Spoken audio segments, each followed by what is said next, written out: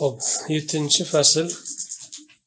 Alloh subhanahu va taolo o'zining aziz kitobida rasuli akram alayhissalotu vassalomning qadrlarining buyuklari buyukligi manzilalarining sharafliligi sharafli o'rinda ekanlarini payg'ambarlarni ustidan ya'ni payg'ambarlardan ham sharaflari hammalaridan balandligini va u kishining martabalari yuqori ekanini bayon qilib aytgan xabarlari haqidadir.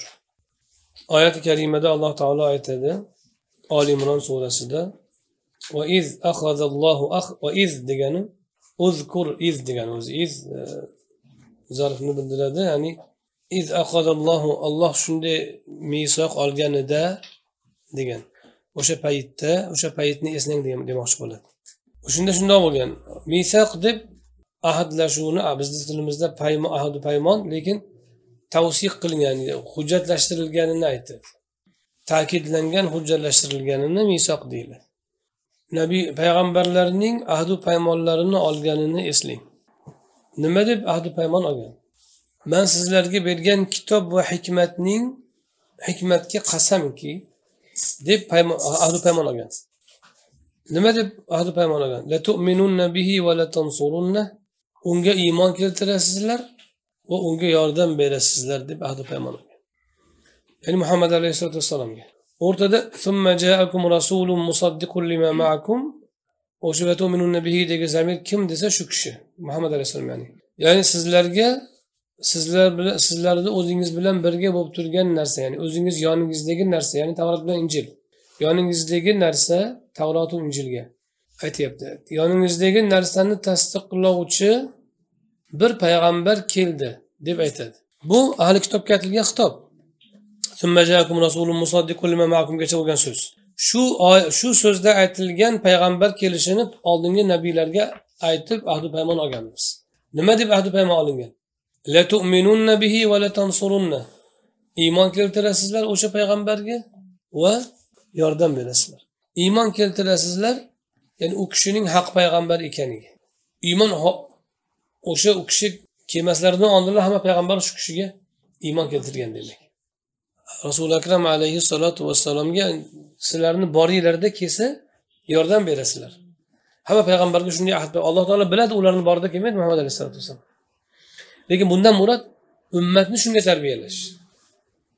Har bir payg'ambar kelarkan odam alayhissalomdan boshlab kelganki payg'ambar o'zining qavmiga muhammad alayhissalotu vassalomni tanishtirgan. Shunday tanishtirib bildirganki sifatlari undoq xulqlari bundoq qiladigan ishlari undoq alomatlari bu. U kishi oxirgi payg'ambar bo'ladi. O'sha kishi kelsa sizlarni man o'lib u? sizlarni boringlarda shu kishi kelsa o'sha kishiga iymon keltirib o'sha kishiga yordam berasizlar ergashasizlar. Menga emas rasulullohga. Muhammad alayhissalotu vassalom har bir payg'ambar shunday deb o'z qavmiga ta'lim berishi o'zlari ham shunga tayyor turishini alloh taolo ahdu paymon qilib payg'ambarlardan oldin olib bo'lgan payg'ambarlardan shu ahdni olgan. Hamma payg'ambar shunga ahd bergan alloh taologa. Muhammad alayhissalotu vassalomni kelishlari haqida bashorat berish u kishini o'zini ummatiga bildirish o'zlari ham u kishiga yordam berish agar birga bo'lsa.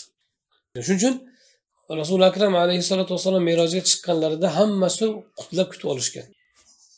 Odam alayhissalomdan tortib iso alayhissalomdan tortib pastdan boshlangan iso alayhissalomdan tortib e, odam alayhissalomgacha bo'lgan payg'ambarlar. Musoni ko'rdim yusufni ko'rdim ibrohim alayhissalomni ko'rdim nuhni odam alayhissalom hammasini ko'rganlar. Hammalari xush keldingiz xush kelding deb kutib olishgan. Bu demak o'zi asli bu va'dalashuv rasuli akram alayhissalotu vassalom yaralishlaridan oldin bo'lgani aniq. Lekin payg'ambarlarning yaralishidan oldin bo'lganmi? Ya'ni ruh olamida yoki payg'ambar bo'lib yuborilganlaridan keyin bo'lganmi? Ulamolar aytadiki ba'zi muhaqqiq ulamolar payg'ambar qilib yuborilganda bo'lgan emas bu. Unda ham bo'lishi aniq. Asli misoqda bo'lgan ruhlar olamida alastu bi robbikum umumiy ahd bo'lganu o'shandan ham oldin bo'lgan deyishadi. Undan ham oldin. O'sha birinchi misoq deyiladi. Birinchi misoq shu bo'ladi payg'ambarlarga xos. Undan keyin umumiy misoq bo'lgan deydi ba'zi ulamolar ala kulli hol bu ruhlar bilan bo'lgan. Payg'ambarlarni ruhlariga shunday va'da olingan ulardan. Qola aqrartum alloh taolo aytdiki iqror qildingizmi? Ala zalikum isri degan ahdi degan. Ahdi al muakkad ya'ni ta'kidlangan ahdni isr deydi. Isr deb og'ir og'ir mas'uliyatli narsani aytadida ahdni ta'kidlangan ahdni isr deb aytgan demak ahdimni oldingizmi yani qabul qildingizmi desa naam ular aqrorna iqror qildik deyishdi keyin olloh aytdiki guvoh bo'linglar men ham sizlar bilan birga guvohman bu rasuli akram alayhissalotu vassalomni sha'nlari naqadar buyukligini bildiradi hamma payg'ambarni to'plab hammasiga oxirgi zamon payg'ambari muhammad alayhissalotu vassalom haqlarida xabar berilish u kishiga iymon keltirishlari va u kishini qo'llab quvvatlashlariga va'da berishlari ming yillar asnosida. Muhammad alayhissalotu vassalom martabalari naqadar balandligini bildiradi allohni huzurida naqadar yuqori ahamiyatli ekanlarini ko'rsatadi. Hatto payg'ambarlarni hammasidan ulug'liklarini ko'rsatadi. Birorta payg'ambarga bu narsa bo'lgan emas. Hatto odam alayhissalomga risolatiga iymon keltirish boshqalarga. Bu darajada bu tarzda e, talab qilingan emas. Biz shuning uchun shuning uchun biz hamma payg'ambarga bir xil iymon keltiramiz. Nimaga? Hammalarini vazifalari bitta bo'lgani uchun. Risolatlari bitta bo'lgani uchun. Agar masalan biz iso alayhissalomni yoki muso alayhissalom yoki birorta zulkufr birorta payg'ambarni bir kishi inkor qilsa agar boshqa hamma payg'ambarga keltirgan iymoni ham muhammad alayhissalomga bo'lgan iymon ham qabul qilinmaydi. Chunki ollohni risolati bo'linmaydi bitta risolat u yagona din yagona risolat. Anavi e, haligi e, g'ayri dinlar nomusulmonlar o'ylagandaqa u seni payg'ambaring bu meni payg'ambar qilib talashib uni emalab uni ermalab buni ulug'laydigan ahmoq emasmiz biz. Biz hamma payg'ambarlarga birdek iymon keltiramiz. Agar birortalarini inkor qilsa agar bir kishi inkor qilsa agar bo'ldi qolgan necha mingta payg'ambarga bo'lgan iymon qabul qilinmaydi. Nima uchun? Chunki hammalarni risolati bitta. Va hammalari muhammad alayhissalotu vassalomni risolatiga xodim. Hammalari bitta muhammad alayhissalotu vassalomni risolatlariga tayyorgarlik bo'lgan hammalarni risolati. Shuning uchun biz shuni iymon keltiramiz. Bu rasuli akram alayhisalotu vassalomni martabalari hammani martabasidan balandligi va hech kimni martabasi u kishini martabasiga qiyos qilib bo'lmaydigan darajada ekanini ko'rsatadi. Shunday bo'lgandan keyin u kishini har qancha maqtasangiz arziydi shuning uchun e, bu siyriy aytganki e, nasroniylar o'zlarini payg'ambarlar haqida aytgan maqtovlari bor iloh deb yuborganlar. O'shani qo'ygunu boshqa hamma boshqa hamma maqtovni aytaver rasululloh. Ya'ni iloh qilib yubormasang bo'ldi nima maqtov aytsang bo'ladi. Shuning uchun e, rasululloh meni iso alayhissalomni maqtagani itro degan itro haddan tajovuz qilish tarifda haddan tajovuz qilishgani kabi manga o'zimda yo'q narsani nisbat bermanglar itro degani yo'q narsani nisbat berish. Manga o'zimda yo'q narsani nisbat bermanglar deganlar la tamdahun meni maqtamanglar demaganlar. Yo'q manda o'zim manga o'zimda yo'q narsani nisbat bermanglar iso alayhissalomga qilishgan kabi. Balki ollohni bandasi va rasuli denglar dedilar banda sifatida har qancha maqtasangiz maqtang rasul sifatida har qancha maqtasangiz maqtang mana shu maqtovlar rasul sifatidagi maqtovlar. Rasul sifatidagi maqtovlarga kiradi shu alloh taolo buni e, bu guvohlikni mana aytdiki mana va ashhadahum ala anfusihim dedi. Alastu bi robbikum de. Sizlarni robbingiz emasmanmi deganda ularni o'zlariga o'zlarini guvoh qildi. Alastu bi robbikum deb. Keyin shahidna biz ham guvoh bo'lib qo'ydik. Nima uchun guvoh bo'ldik? Antaqulu keyin biz sizlar keyinchalik e, dunyoga kelganinglardan keyin biz u misoqda islomiymiz demasliginglar uchun biz buni eslab sizlarga aytib beryapmiz deydi. Guvoh o'zini guvohligini aytgan. Lekin shahidna deb jam bilan aytgan biz ham guvoh bo'ldik. Biz guvoh bo'ldik o'sha alastu robbikumda bala deganinglarga deydi. Bir tafsirda bir tafsirda bala shahidna bo'ladi. Bir tafsirda shahidna bo'ladi. Balani o'zi javob bo'ladi. Shunda o'zlarini o'zlariga guvoh qildi. Ammo mana bu misoqda muhammad alayhissalotu vassalomni sha'nlarida u kishini shaxslariga risolatlariga hammani guvoh qildi.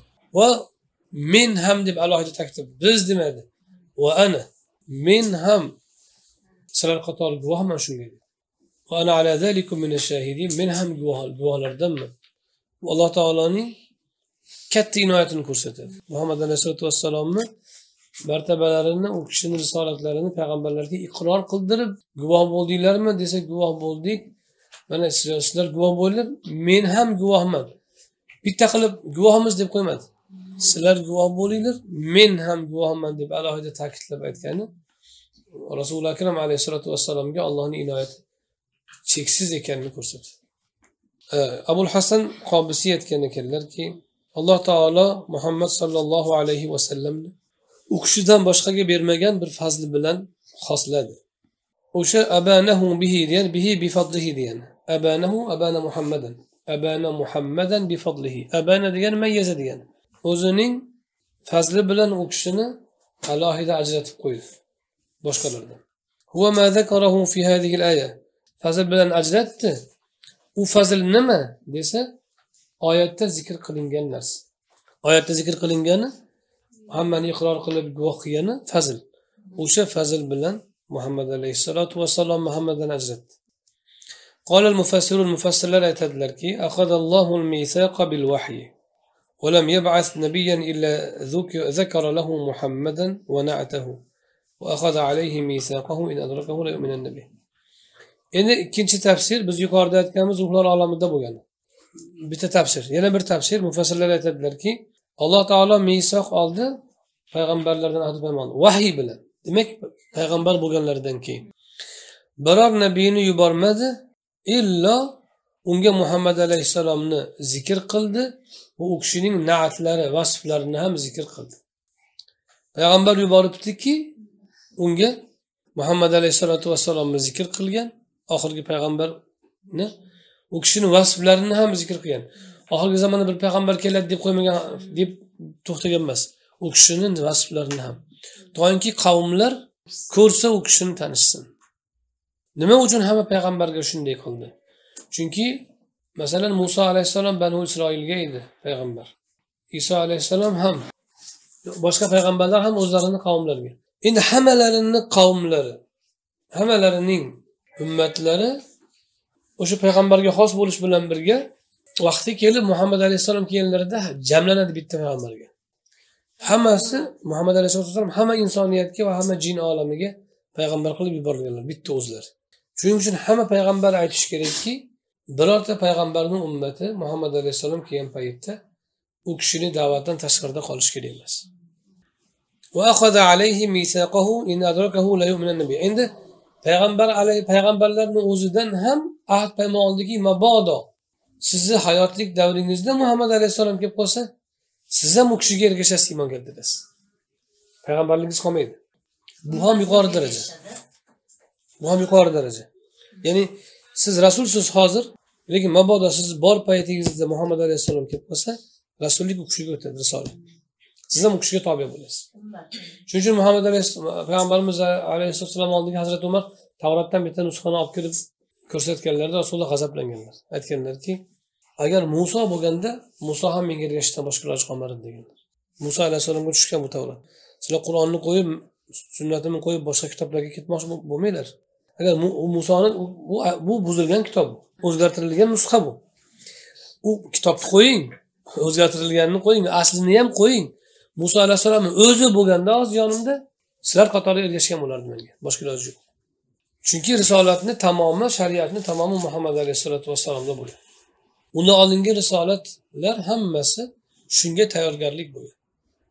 Demak payg'ambarlarni o'zidan ham ahd paymon olinganki bu martabani qarangki siz rasulsiz. Agar sizni hayotingiz davrida muhammad alayhissalom kelib qolsa siz ham u kishiga iymon keltirib ergashuvchi bo'lasiz. Ikkinchi tafsirda ikkinchi tafsirda payg'ambarlarni payg'ambarlarga ulardan ahd olib shunaqa muhammad alayhissalotu vassalomga iymon keltirishlari aytilganmi? Yoyinki yo ular orqali qavmlarga aytilganmi? Iroda qilingan narsa ularni o'zi emasmi? Ikkinchi tafsir bu. Ya'ni alloh taolo payg'ambarlardan ahd olgan paytda iymon keltirasizlar yordam berasizlar degan paytda agar muhammad alayhissalom kelib qolsa. Payg'ambarlarni o'zini nazarda tutgan emas. Bu ikkinchi tafsir. Balki ummatlarga shunday o'rgatasizlar ummatlar shunday qiladi. Ular ham o'zidan keyingilarga ta'lim beradi. Butun insoniyat ummatlarida shu risolat davom et shu xabar davom etsinki muhammad alayhissalom chiqqan paytda hammasi iymon keltirsin. Hammalariga yuklatilgan shuning uchun. Har bir avlod o'zidan keyingiga bu xabarni yetkazib borish kerak muhammad alayhissalotu vassalomni sifatlarini yetkazib borish kerak. Shuning uchun ahli kitoblar buni yaxshi bilishgan. Alloh taolo aytganki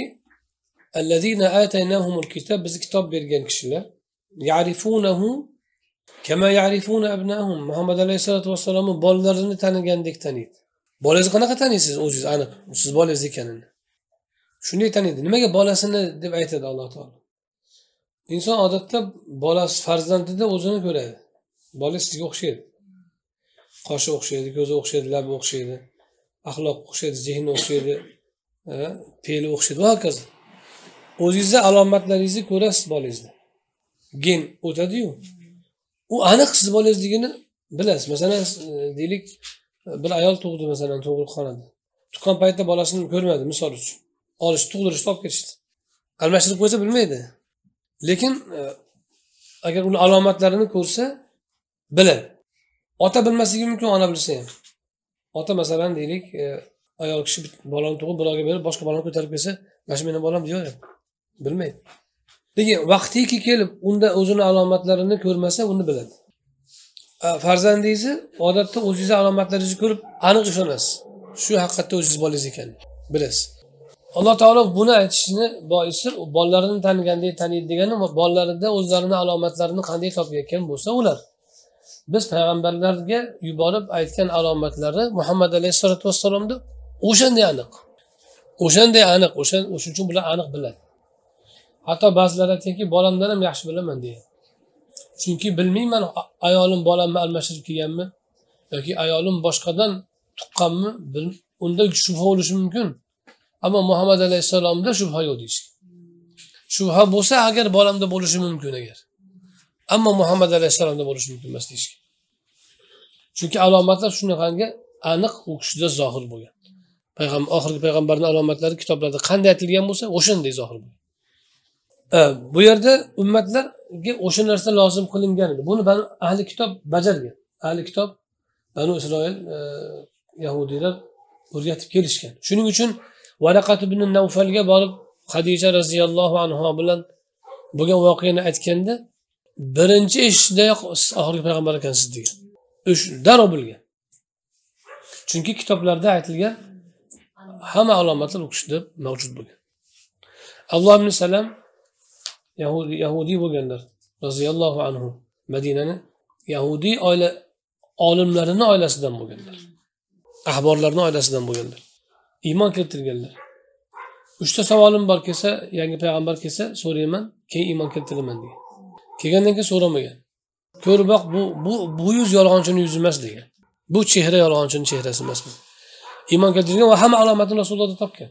Keyin rasululloh ularga yashirganlarida yahudiylar kelishganda abdulloh ibn salam aytganlarki bular hozir rasululloh sinab ko'ring bular yolg'onchi qavm bo'ladi deganlar. Keyin u kirishganda rasululloh aytganlarki abdulloh ibn salom haqida nima deysizlar? deganlar.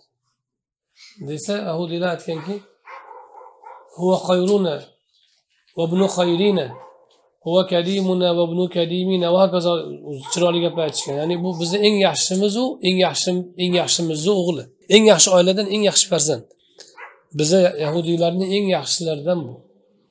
Eng olimlarimizdan bu. Eng haligi nasabi tozalarimizdan bu. Eng mukarramimizdan bu. Va hokazo deb ta'riflar aytishgandan keyin u kishi chiqib keyin iymon keltirganini e-, e'lon qilgan. E'lon qilishsa bu eng yomonimiz mana shu. Eng yomon oiladan bo'lgan mana shu. Eng rasvo shu deyishga o'tishgan. Shunda abdulloh yo rasululloh men sizga aytmadimmi bular bo'xtonchi qavm ekanini aytmadimmi sizga? Deganlar. Ana shunda ham demak biz bu oyat karimadagi va'dani tadbiqini ko'ramiz. O'sha banu isroilda avlodma bo'lmasa necha asr o'tib ketgan iso alayhissalomdan keyin? Besh asr o'tib besh asrgacha yoki yahudiylar desak muso alayhissalomdan beri. Ikki ming yilgacha taqriban yoki uch ming yilgacha. Ikki ming yilgacha uch ming yilgacha. Ikki ming yil taqriban ikki ming yilgacha. Avlodma avlod o'sha alomatlar kelganda kitoblarda ham yozilgan va nasihat qilingan. O'sha payg'ambarlarni risolatini yetkazgan. Qachonki muhammad alayhisalotu vassalom chiqqan paytlarida o'zlaridan bo'lmagani uchun keyin hasad nuqtai nazaridan hasad sababli keyin teskari chiqishga o'tishgan. Ammo mana bu misoqni biz faqat qur'oni karimda ko'rmaymiz xabarni balki tarix ham sobit bo'lgan narsa. Tarixda sobit bo'lgan narsa. Nafaqat qur'oni karimni xabari. Qur'oni karimni xabari shubhasiz. Lekin qur'onga iymon keltirmagan odamga ham bu misoqni isbotlay olamizki tarixda bu mavjud bo'lgan. Voqelikda yashagan bu.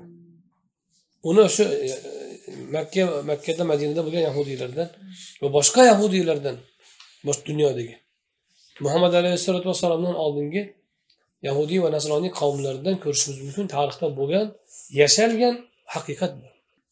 Va alloh taolo aytadiki degandagi al xitobu li ahli kitob al muasirin li muhammad u keyin sizlarga payg'ambar keldi. O'zingizdagi narsani tasdiqlovchi payg'ambar keldi degandagi xitob muhammad alayhissalotu vassalomga ham asr bo'lgan ahli kitoblarga qaratilgan ya'ni o'sha payg'ambarlardan ahd olingan muhammad alayhissalotu vassalom mana sizlarga keldi. ali ibn abi tolib aytgan ekanlarki roziyallohu anhu alloh taolo biror payg'ambarni odam alayhissalomdan u kishidan keyingi payg'ambarlar hammalaridan qaysi biriniki yuboribdi unga muhammad alayhissalotu vassalomni haqlarida ahd olgan unda. Agar tiriklik paytida muhammad alayhissalom payg'ambar qilib yuborilsa unga iymon keltirilishi va yordam berishini ahdini olgan.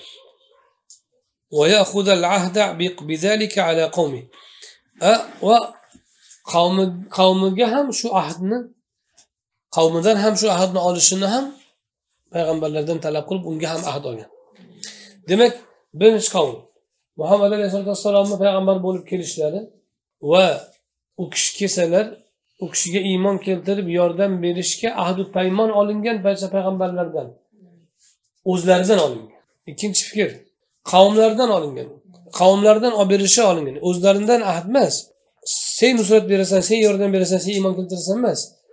Qavmingni iymon keltirib nusrat yordam berishiga ahdu paymonini olasan deb ahdu paymon olgan payg'ambarlardan. Payg'ambarlarni o'zidan emas ikkinchi tafsir. Uchinchi tafsir hazrati aliniki ikkalasi ham birga. Ham o'zlariga o'zlaridan ahdu paymon olgan. O'zingizni tirigingiz tirikligingiz paytida ahdu paymon ahd olamizki muhammad alayhissalom kelsalar ergashasiz yordam berasiz iymon keltirasiz. Agar shu bilan birga qavmingni ham shunga tayyorlaysan. Demak ahd payg'ambarlarni o'zidan olingan birinchi qavl ikkinchi qavl e, payg'ambarlar qavmlardan olishiga ahd olingan. Uchinchi qavl ikkalasi birga. O'zlaridan ham ahd olingan ergashishga iymon keltirishga nusrat berishga va qavmlaridan ham ahd olib berishlari ahdi olingan. Hazrati alini gaplari demak uchinchi e, tafsir bo'ladi to'g'risi shu o'zi ikkalasi ham ikkalasi ham bo'lgan suddiy ismoil ibn abdurahmon suddiy e, ikkita suddiy bor bu kattasi suddiyil kabir deyiladi bu kishi mufassirlarni imomlaridan imom suddiy va qatoda ibn diama tobiinlardan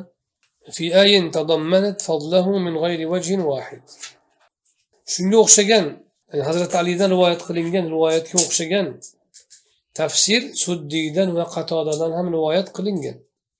Nabiy sollallohu alayhi vasallamni fazillarini o'z ichiga olgan oyatlarda min g'ayri vajhin vahid bir necha vajh bilan. Ya'ni hazrati ali roziyallohu anhu bu oyati karimada muhammad sollallohu alayhi vasallamning fazillariga dalolat qiluvchi tafsirni aytdilar ham payg'ambarlarni o'zlaridan o'zlari iymon keltirib yordam berishlari ham qavmlaridan iymon keltirib yordam berish ahdini olishlari ahdi olindi deb aytdilar suddiy va qatodadan ham shunga o'xshagan bir qancha vajhlarda e, rasulullohni fazillarini dalolat fazillariga dalolat qiluvchi oyatlarda tafsirlar kelgan demoqchi alloh subhanahu va taolo yana aytadiki وإذا أخذنا من النبيين ميثاقهم eslang e, muhammad alayhissalotu vassalom payg'ambarlardan ularni misoqlarini ahdu paymonlarini olganimiz. O'zingizdan nuhdan ibrohimdan muso va iso alayhissalomlardan va biz ulardan e, barcha payg'ambarlardan zalvorli ahdu paymon oldik g'oliz degani yo'g'on og'ir degan ma'noda. Lekin o'zbekcha aytadigan bo'lsak zalvorli deb aytsak bo'ladi. Ya'ni o'tayam mas'uliyatli degani endi bu ahd yuqoridagidan boshqa ahd. Bu umumiy risolat ahdi. Bu o'sha payg'ambarlarni risolatni yetkazishiga bo'lgan ahd bu boshqa alohida ahd. Yuqoridagisi muhammad alayhisalotu vassalomga iymon keltirish u kishiga yordam berish ahdida bu tabliğ ahdi bu yetkazish ahdi. Bu muhammad alayhisalotu vassalom o'zidan ham o'zlaridan ham olingan bu. Tushunarlimi? Haligi men yuqorida adashtirib olibman. Haligi almisoqda olingan ahd shu edi. Birinchi olingan ahd yuqoridagi ham bo'lishi mumkin lekin men o'qigan mana shu ikkinchi mana shu oyat tafsiridagi ya'ni muhammad alayhissalotu vassalom va boshqa payg'ambarlar hammalaridan olingan tabliğ ya'ni yetkazib berish allohni risolatini yetkazish ahdi paymoni. O'sha haligi butun banu odamni misoqidan oldin olingan ruhdagi ruhlardan olingan misoq shu. Yuqoridagisi ham vahiy bilan bo'lgan bo'lishi mumkin. O'sha ruh olamidan bo'lgan bo'lishi mumkin. E, lekin men hozir e, endi esladim. Men aytgan misoqdagi ruhlar olamida olingan ahd mana bu ikkinchisi. Ahzob surasidagisi u oliy imrondagi tafsirda ko'rganim yana bir nuqta shu yerda mavzudan tashqari bo'lsa ham alloh taolo qur'oni karimda ikkita misoqni ikkita ahdni g'aliz g'aliz ya'ni zalvorli o'ta mas'uliyatli deb atagan ikkita misoq ikkita ahdi paymon masalan banu isroildan ham ahdi paymon olingan. O'sha payg'ambarimiz alayhissalotu vassalomni nima qilib e, sifatlarini saqlashga uni g'aliz demagan. Yoyinki e, deylik e, boshqa ahdlar bor. Masalan alastu robbikum bor. Uni ham misaqon g'alizon deb zikr qilmagan. Balki birinchisi payg'ambarlardan olingan ahdu paymonni shunday misaqon g'alizon ikkinchisi nikohnikini ayolning erkakdan olgan ahdini shunday deb atagan. Ayollar sizlardan deb erkaklarga aytadi o'ta mas'uliyatli o'ta zalvorli ahdi paymonni olgan deb aytgan. Bu qur'oni karimni alloh subhanaa taoloning nikoh ahdiga nikoh aqdiga bo'lgan e'tiborini ko'rsatadi bir payg'ambarlar bilan bo'lgan payg'ambarlarni risolatga bergan ahdi paymonlarni zalvorli misoq deb atagan.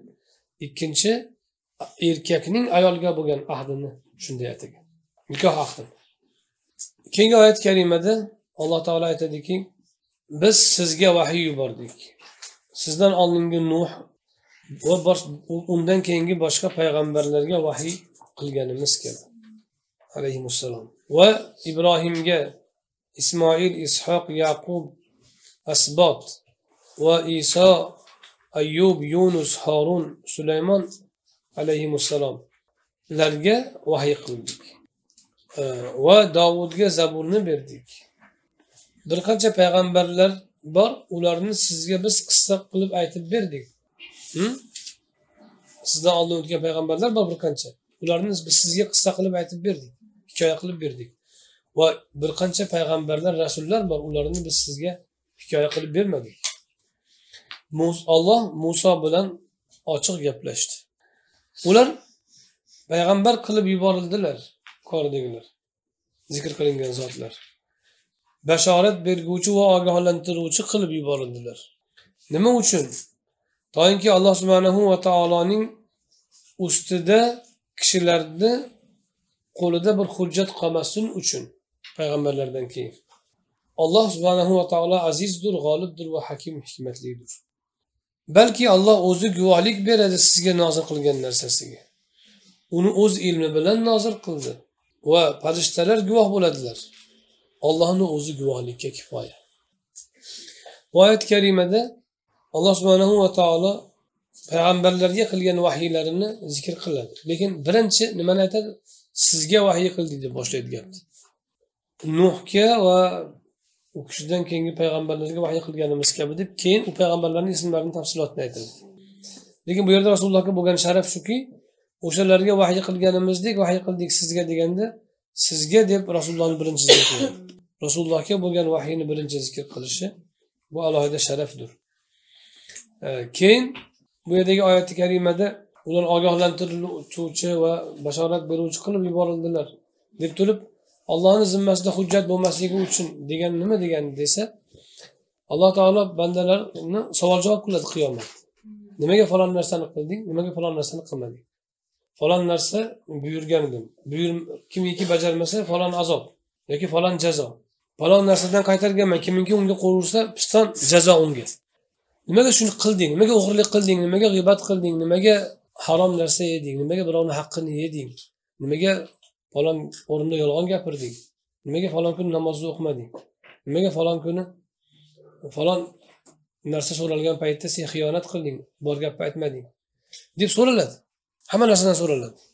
O'ta zarur narsadan so'raladi. Hatto bir kishi o'sha ruhi chiqib farishtalar bilan ko'rishib qaytib kelgan odam aytganki ruhim chiqqanda hamma amalim ko'rsatildi. Hattoinki bir kun yarim achigan anorni olib chiqib axlatga tashlagan edim yarmi achimagan bo'lsa ham. Shundan ham so'raldi degan. Hamma narsadan so'raladi o'sha so'ralgan paytda nimaga shu ishni qilding desa bu yomonligini bilmabman deydi inson. Yo'q bilgansan senga yetkazganmiz biz buni yomonligini gunohligini aytganmiz falon narsani olloh xohlashini aytganmiz shu savol bo'lishini aytganmiz shu javob berishingni aytganmiz senga yo'q aytilmagan manga desa qutulib ketadi. Haqiqatda aytilmagan bo'lsa. Shunda bandani qo'lida hujjat bo'ladi allohga qarshi. Agar shunday bo'lsa. Ana shunday allohga qarshi bandani qo'lida hujjat bo'lmasligi uchun payg'ambarlarni yuborib biz o'zimiz istagan narsani yetkazib qo'ydik. Nima? Allohga mahbub nima mahbub emas. Nimani so'raydi nimani o'tin qiladi nimani buyuradi nimani qaytaradi nimadan qaytaradi. Payg'ambarlar orqali shuni yetkazib qo'ydikki kelib keyin bizga qiyomatda savol javob bo'lgan paytda chunki insoniyat shuning uchun yaratilgan. Ixtiyori bilan amal qilib yo jannat yo do'zaxga kirishga rozi bo'lib kelgan dunyoga. O'shanda borgan paytida allohni huzurida shunday savol javob bo'lgan paytda yo bizga yetkazilmagan deya olmasligi uchun payg'ambarlarni yuborib yetkazib qo'ydik. Ana ulamolarning vazifasi ham shu. Hamma narsani qildirish emas yetkazish.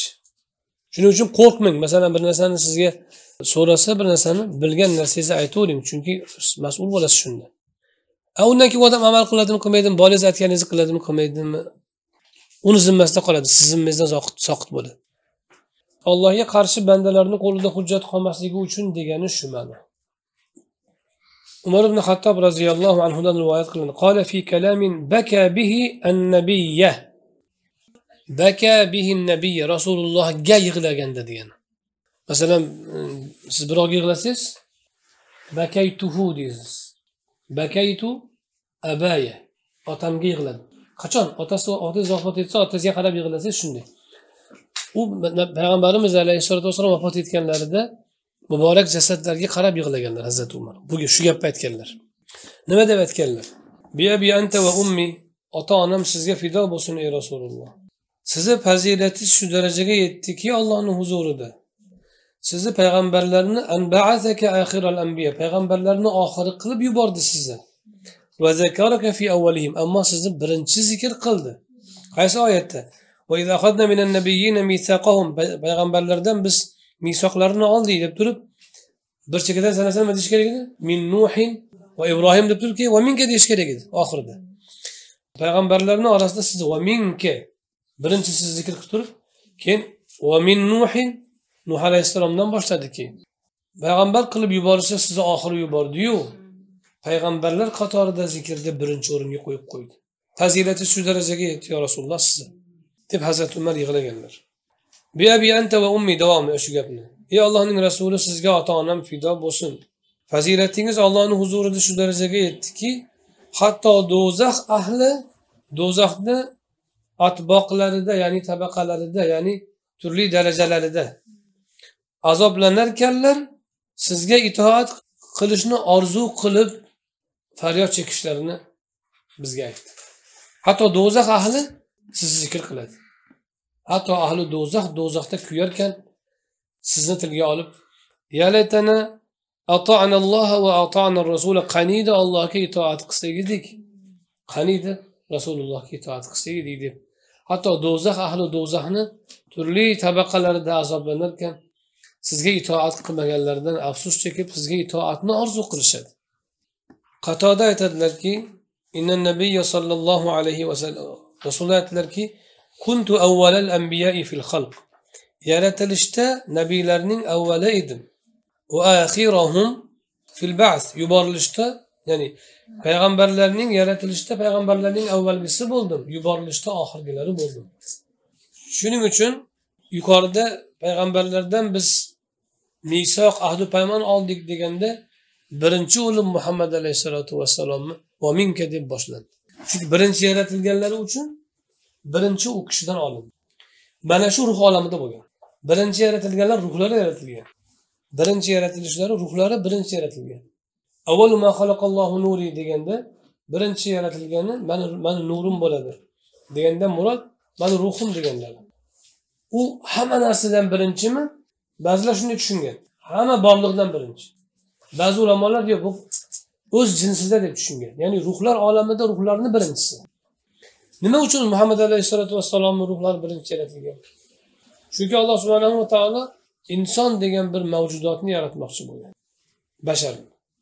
O'ziga bandalik qiladigan ixtiyori bilan allohni amrini bajaradigan xalifa. Ardi xalifa. O'sha xalifaning eng mukammal shakli qanaqa bo'ladi degan savol tug'ilgan tug'iladi. Ollohni ilmida o'sha o'sha tarz bo'lgan. Ollohni azaliy ilmida bor. O'sha tarzki mana shu tarzdagi mavjudot bo'ladi. Shu mana shu zot mana shu bandam mani manga bandalik qiladi. Shunday bir mavjudotni yaratganlar eng mukammali mana mana bu shakl. Eng namunali shakl. Deb namunali shaklda yaratgan o'sha shakl muhammad alayhisalotu vassalom bo'lganlar. O'sha tarz eng mukammal tarz. Nima uchun u kishi birinchi yaratilgan? Namuna uchun. Hammasi shunga o'xshagan bo'lishi kerak shu kishiga ergashish kerak. Shu shu namunaga yaqin bo'lgani sari men istagan tarzga yaqinlashadi degani u. Va keyin boshqa hamma ruhlarni yaratgan alloh ana shu yaratilganlaridayoq u kishi payg'ambar qilib saylanganlar oxirgi payg'ambar. Ba'zilar o'sha hadisni inkor qiladi. Birinchi to'g'ri u hadis sobit bo'lgan emas. Shu lafz bilan. Ammo ma'nosi sobit. Ma'nosi sobit. Ba'zi ulamolarni biz ko'pchilik tushunmaydi muhaddislarni istilohini muhaddislar bitta hadisda aytsa san'atga qaraydi palonchi pistonchidan pistonchi palonchidan eshitgan deydi. Bu hadis sahiy emas deydi. U o'sha matnni aytadi. Ma'no sahiy bo'lishi mumkin. O'sha matnni o'sha shaklni. Ba'zida bitta so'z qo'shilib qoladi. O'sha qo'shilgan so'zini aytadi. O'sha qo'shilgan so'zni e'tiboridan muhaddis zaif deydi. Tushunarlimi? Lekin ma'nosi ma'nosi sahih. Ma'nosi muhammad alayhissalom va bu hech qanaqa shariatga xilof joyi ham yo'q. Va qur'oni karimga muvofiq ham. Mana payg'ambar mana bu yerda oyat kalimada payg'ambarlardan misoq oldik deyapti. Ahdi payg'ambar. Va muhammad alayhissalom bilan boshlayapti birinchi. Shu nimaga ishora? Hamma payg'ambarlardan oldin u kishidan olinganiga ishora. U nimaga ishora? Bu ruhlar olamida bo'lgan bo'lsa bu ahd payg'ambar. U kishini ruhi birinchi bo'lganda nishon. Shuning uchun aytyaptiki oyati kalimada shuning uchun birinchi o'ringa qo'yildi deyapti. Qatodan tafsirlari payg'ambarimiz alayhissalom ambiyolarni birinchisi bo'ldim. Yaratilishda yaratilishdan murod nima? Ruhlarini yaratilish. Jismlar emas. Jismlar oxirgi zamonda abdulloh otalaridan paydo bo'lgan. Lekin ruhlari birinchi yaratilgan. Demak alloh alloh taolo u kishini ruhini birinchi yaratgani bu qur'oni karimga muvofiq balki ishorasidan dalil olinadi shunga. O'zi asli masalan hozir ruhlar yaratilib bo'lgan hammasi qiyomatgacha tug'iladigan hamma yaratilib bo'lgan. Yangi bola tug'ilayotsa yangi ruh yaratilmaydi.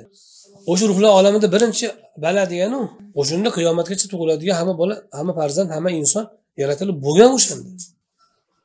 Hech g'arib joyi yo'q. O'sha o'shanda muhammad alayhissalomni ruhlari ham bo'lganmi? Bo'lgan. Hozir ruhlar olamida hali dunyoga kelmaganlar ham yashaydi. Dunyoga kelib ketganlar ham yashaydi. Ruhlar olamida u ham bu ham yashaydi. Shuning uchun sahoba ikromlar biz azr qilyapmiz deganda hojati yo'q deganlar. Qiyomatgacha tug'iladigan bolani olloh tug'diradi baribir deganlar. Bolada saqlanish saqlanaman desanglar olloh yarataman deganmi bab yaratadi deganlar. Chunki urug'lar yaratilib bo'lgan. O'shani albatta tanasi yaratilishi kerak. Ming saqlaning bo'ladigan bo'lsa bo'laveradi nima uchun? Ruhi yaratilib bo'lgani uchun ruhlar qiyomatgacha yaratilib bo'lgan. O'sha o'rtada o'sha ruhlarni ichida muhammad alayhissalotu vassalom ruhlari ham bo'lganmi? Albatta bo'lgan. Ho'p ruhlarni hamma tanalarni yaratishdan oldin qancha muddat oldin olloh yaratgan ekan.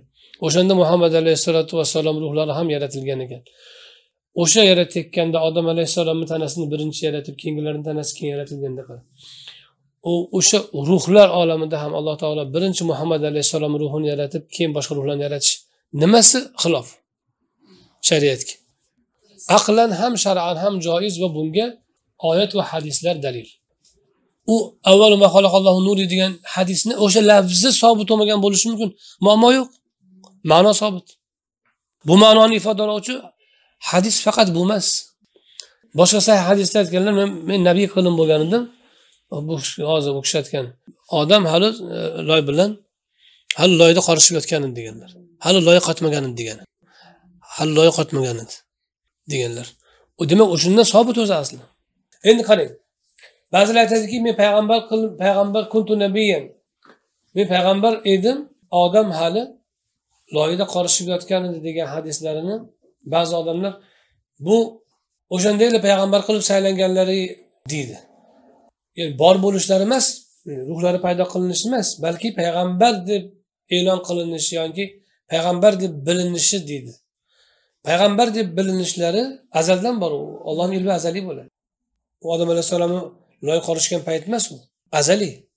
Rasulullohni payg'ambar bo'lganlari ollohni ilmida payg'ambar bo'lishlari desangiz siz biz, biz siz bilan biz yaralishimizni ham butun dunyodagi hamma narsa hamma ilm borki nimaki mavjudot bo'lsa hammasini ilmi ollohdan bor bo'lganmi? Qachondan beri bor? Azaldan bor.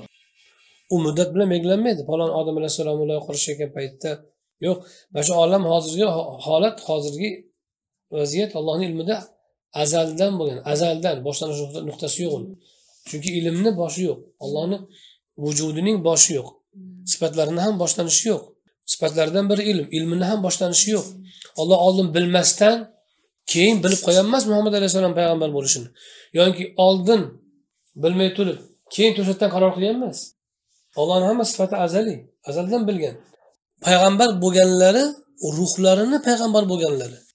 Payg'ambar bo'lganlar o'zlarini payg'ambar bo'lganlar. Ya'ni ruhlarini demak o'shanda odam alayhissalotu vassalomni bu sahih hadis bu hadis. Loylar hali qorib turilgan paytda muhammad alayhissalotu vassalom ruhlari yaralgan va o'shanda u kishiga payg'ambarlik berilgan. O'shanda mana u misoq olingan. Tushunarlimi? Shuning uchun e, mavlud mavlud sharifda kelgan rasulullohni nurlari haqidagi u kishini nurlari e, o'sha e, eng birinchi yaratilgan narsa degan gap yolg'on gap emas u bor gap. Rost gap u lekin payg'ambarimiz nurlaridan arshni yaratdi kursini yaratdi yerni yaratdi osmonni yaratdi degan tafsilotlar ular keyin paydo bo'lgan. Ular asossiz. Ammo nurlar ya'ni ruhlarning birinchi yaratilishi u haqiqati sobit. Endi samarqandda aytadilarki mana shu hadisi sharifda nabiy sollallohu alayhi vasallamning yoki oyati karimadagi birinchi va minka deb u kishidan boshlab miso qolganini keyin nuhdan degani rasulullohni fazilatlarini ko'tarish borki. Chunki u kishini birinchi bo'lib zikr qildi hammasidan oldin holbuki u kishi ularning oxiri edilar. Ma'no qaysi ma'no? O'sha qaysi misoq o'sha desa alloh taolo odam alayhissalomni orqasidan avlodlarini zarra qilib chiqargandagisi deb aytadi endi ruhlarni yaratgandagisi ruhlarni yaratganda o'sha alastu deb barcha insonlardan umumiy bandalikka ahd olgan bo'lsa ulardan payg'ambarlikka ahd olgan payg'ambarlar. Qo'shimcha. Hop e, oyati karimada e, yana baqara surasida keladi bu yerda aytayotganlari ana mana shular payg'ambarlar bularni biz mana shu payg'ambarlarni ba'zilarini ba'zilaridan biz afzal qildik. Ularni orasidan ba'zilari bor alloh u bilan yuzma yuz gaplashdi ya'ni beparda gaplashdi ya'ni. E, ko'rinish bilan emas lekin e, to'siqsiz. Bu muso alayhissalom bilamiz. Ba'zilarini darajalarga ko'tardi. Ba'zilaridan murod bu yerda ba'z so'zi bittadan ko'pgacha yuradi bittadan boshlab oxirgi bittadan oldingigacha davom etadi. Masalan o'n kishi o'tirgan bo'lsa shu yerda. Bir kishi gapirsa ham qola ba'duhum desa bo'ladi. Bittasi aytdi degani bo'ladi. Ikki kishi aytsa ham qola bag'duhum desa bo'ladi. Ikkitasi aytgan bo'ladi. O'ntadan to'qqiz kishi aytsa ham bitta gapni. Qola bag'duhum desa bo'ladi. Tushundingmi kul deydi hamma degani. Hammadan bitta kamaygan bo'lsa ba'ziga kiradi. Hammadan bitta ajrasa ham ba'ziga kiradi. Tushundinga e, ba'zi so'zini shunday. Shuning uchun tarjima qilayotganingizda qola ba'dul ulama desa ba'zi ulamolar aytgan demaysiz ulamolardan biri aytgan deysiz. Ulamolardan bittasi. Endi masalan e, gapni oqimidan keladi ba'zi o'rinda keladi. E, ba'zi deb tarjima qilish to'g'ri keladi. Masalan dolaba desa bir birlarini urdi degan deb aytsa misol uchun. E, masalan yoki ba'zilari najaha ba'duhum desa masalan besh oltitasi muvaffaqiyat topgan bo'lsa imtihondan o'tgan bo'lsa najaha ba'duhum desa ba'zilari o'tdi imtihondan deb aytsa bo'ladi. Lekin ko'pincha gaplarni naql qilayotganda ba'zi ulamolar emas ulamolardan biri desa to'g'ri chiqadi ko'pincha. Bu yerda darajatda payg'ambarlardan ba'zilarini bir qancha darajalarga ko'tardi degan o'sha ba'zilaridan murod bir qancha payg'ambarlarni boshqa payg'ambarlardan ko'tardimi? Yoki oralaridan bittasini boshqalaridan bir necha darajaga ko'tardim degan savol bor. Shunda qola ba'duhum deganda e, deganda ahli tafsir aytganki ya'ni muhammad alayhissalom ulardan birini deb tarjima qilamiz shunda. Payg'ambarlarni biridan chunki tepadagi baduhum ala ba'd birlarini ba'zilarini ba'zilaridan birlarini boshqalaridan afzal qildi deganda bo'ldi o'zi yetadi o'sha ba'zi payg'ambarlardan ba'zi payg'ambarlar afzal bo'lganini ifodasi shu bo'ladi. Endi darajatni ba'zilarini darajalariga ko'tardi desangiz tepadagi gap takror bo'lib qoladi. Undan iroda qilingan muhammad alayhissalom bo'lsa ma'no qanday bo'ladi? Payg'ambarlarni ba'zilarini ba'zilaridan afzal qildik. Ba'zilari bilan gaplashdi olloh bittalarini darajalariga ko'tardi muhammad alayhissalomni chunki va isa ibn iso ibn iso ibn maryamga biz bayyinat ochiq oyatlarni mo'jizalarni keltirdik va uni biz ruhul qudus jabroil bilan quvvatladik. Shunda ba'zilarini ba'zilaridan afzal qilganini alloh taolo zikr qilib muso alayhissalomni zikr qilsayu iso alayhissalomni zikr qilsayu muhammad alayhissalom qolib ketadimi? Xos qolib ketmasligi kerak. O'sha bag'dohumdan murod muhammad alayhissalom bo'lishi tafsirda yaqinroq bo'ladi. Darajat demoqchi. Ha?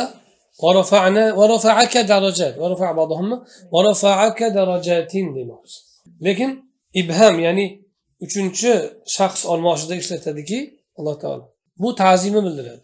Ulardan bittasini hammani zehni kimikin deb istab qoladida istab qoladi. Kimikin o'sha bittasi desa kim bo'lishi mumkin? Muso bilan isoni o'rtasida zikr qilingan deydi keyin. Muhammad alayhissalom bo'ladi degan xulosa chiqadi. Ahli tafsir shunday deganlar. Nima uchun desa nima uchun hamma nima uchun darajalarga qaydan biz tafsirni hamma payg'ambarlardan ko'p darajalarga ko'tarilganligi muhammad alayhissalom ekan o'sha ko'tarilgan kishi qaydan bilamiz desa dalilimiz shuki payg'ambarlar ba'zi qavmlarga yuborilgan. Ammo u kishi oqu qoraga yuborilgan. Arablarda ahmar va asvat qizil qora deb aytadi bizni tilimizda oq qora deydi. Oq qora deydi. Uni tarjima qilsangiz qizilu qoraga deb tarjima qilmaysiz. اوكو قرقة الترجمة خلص شنو؟ يعني مثلا البحر الأبيض دي دي ولا لا؟ بس اورتا يير دينجز دي اوك دينجز دي ميمز البحر الأبيض إسكندرية دينجز دي دينجز بورم ماستر دي بس بس ما دي ميمز اورتا يير دينجز دي ميمز ابو لا البحر الأبيض اوك دينجز دي. وانت ترجمة خيام بايت تاسس اوك دينجز دي ترجمة خميس. آه وأحلت له endi rasuli akram alayhissalotu vassalomni nima uchun darajalariga ko'tarilgan kishi o'sha kishi bo'ladi qayerdan bilamiz? Birinchisi oqu qoraga hammaga yuborilganlari ma'lum qavmga emas. Birinchi dalil ikkinchi dalil boshqa payg'ambarlarga urushdagi o'ljalar halol qilinmagan edi. Bu kishiga halol qilingan. Hmm. O'zlariga xos sifatlari borligi boshqa payg'ambarlardan ayriqsa va u kishini u kishini qo'llarida ko'p mo'jizalar zohir bo'lgan. Payg'ambarlardan biror bir birortasiga bir fazilat berilgan bo'lsa yo bir kalomat ikrom qilingan bo'lsa hammasi rasulullohga berilgan. Ibrohim alayhissalom halilulloh rasululloh ham halil bo'lganlar. Muso alayhissalom bilan olloh gaplashgan u kishi yerda bo'lganlar. Rasulullohni o'zini huzuriga ko'tarib gaplashgan. Muso alayhissalom ollohni ko'rishni so'raganlar. Ko'rolmaysan dunyoda degan. Rasulullohni o'zi olib chiqib o'zi ko'rsatgan. Muso alayhissalom ko'rishni so'ragan rasululloh so'ramaganlar. So'ramasalar ham ko'rsatgan muso alayhissalom so'raganlar ko'rsatmagan jamoli bo'lmasa muso alayhissalom darajalari o'ta yaqin bo'lgan. Boshqa payg'ambarlardan afzal. Muhammad alayhissalotu vassalomni oldiga kelganda u kishi ham ortda qolganlar u maqomda. Muso alayhissalom turga borganlarida muqaddas yerga kelding kavushingni yesh degan. Muhammad alayhissalom kavushlari bilan uchganlar osmonga. Va hokazo. Nimaki masalan iso alayhissalomga berilgan mo'jizalar boshqa payg'ambarlarga berilgan mo'jizalar hammasi muhammad alayhissalotu vassalomga berilgan. Nimaiki karomat berilgan bo'lsa ularga ikrom hammasi berilgan. Shundan u ularni ulardan bittasini darajalarga ko'tarib yubordi. Ya'ni boshqalarini birlarini boshqalaridan afzal qildik. Ya'ni nisbiy bunisi u tomondan afzal unisi bu tomondan afzal bo'laveradi. Ammo bittalarini hammasidan shu qadar afzal qildikki solishtiradigan emas. Bir qancha darajalarga afzal qilib yubordik u muhammad alayhissalomdan boshqasi bo'lishi mumkin emas. Shuning uchun bag'dohumdan murod nabiy alayhissalotu vassalom yana ba'zilar aytadiki min fadlihi annalloha taala bu yuqorida o'tgan bu. Rasulullohga bo'lgan shafqatlari orasida o'tgan allohni rasulullohga bo'lgan fazli ehtiromidanki boshqalarni ya nuhu ya, ya ibrohimu ya musa deb xitob qilgan bo'lsa muhammad alayhissalotu vassalomni ya rasul ya, ya ayyuhar rasul ya ayyuhan nabiy deb nabiy rasul deb martabalari bilan chaqirgan. Ismlari bilan emas. Yuqorida o'tgan shafqat yuzasidan zikr qilingan bo'lsa bu yerda fazl nuqtai nazaridan zikr qilingan. Samarqandiy yana kalbiydan hikoya qilib aytadilarki ibrohimda va uning jamoasidandir ibrohim ham degan oyat bor. O'sha jamoa uning jamoasidan uning kim desa ala muhammad uningdan murod muhammad alayhissalotu vassalom ha hi degan ha muhammad alayhissalomga qaytadi ay inna min shiati muhammad alayhissalotu vassalam ibrohim alayhissalom shia degani nima degani jamoasidan degani dinida manhajida degani ya'ni muhammad alayhissalotu vassalomni yo'lida edi ibrohim ham degan bu ham sharafki ibrohim o'zi ibrohim alayhissalotu vassalom oldin keldi. Lekin muhammad alayhissalotu vassalomni yo'llarida bo'lgan ekan. Farro endi bilasizlar katta e, tilshunos. Buni joiz deb bilgan. Chunki bu zamir zamirni qoidasi nima uning yoki unga deb gapirmoqchi bo'lsangiz u degan ishoraga oldin u demoqchi bo'lganda ishora qilayotganingiz oldin zikr qilinishi kerak u. To'g'rimi? Masalan kalimani ko'rdim. U juda ham chiroyli bo'lib ketibdi desangiz oldin kalimani aytib qo'yishingiz kerak udan murod kimligini. Bo'lmasam o'zidan o'zi u chiroyli bo'lib ketibdi desangiz kim u degan savol tug'iladida endi o'shaning uchun odatda zamirni qaytadigan joyi bo'ladi. O'zidan eng yaqiniga qaytadi orqada. Bu oyati karimada eng yaqin zikr qilingan nuh alayhissalom o'zi asli. Shuncha aytyaptiki vaqili al muradu minhu nuh. Yana bir tafsirda nuh alayhissalom o'zi bir tafsir ko'p mashhur tafsir shu. Nuh alayhissalomni zikr qiladida orqasidan ibrohim ham uning jamoatidandir uning yo'lidadir. Deb keladi. Lekin ba'zi mufassirlar farro ham joiz degan ekan muhammad alayhissalom yuqorida zikr qilingan bo'lmasa ham nuh alayhissalom bo'lsa ham zamirni qaytarsa bo'ladi. Deb aytgan ekanlar bu ham u kishini fazillaridan bo'ladi. Agar zamirni shunday qaytariladigan bo'lsa nuh alayhissalomga emas muhammad alayhissalotu bu ham rasuli akram alayhissalotu vassalomni fazillaridan bo'ladi. Tushunarlika shu bilan e, bu fasl tugadi. Endi sakkizinchi faslga yetdik. Inshaalloh uni keyin keyingi darsda qilamiz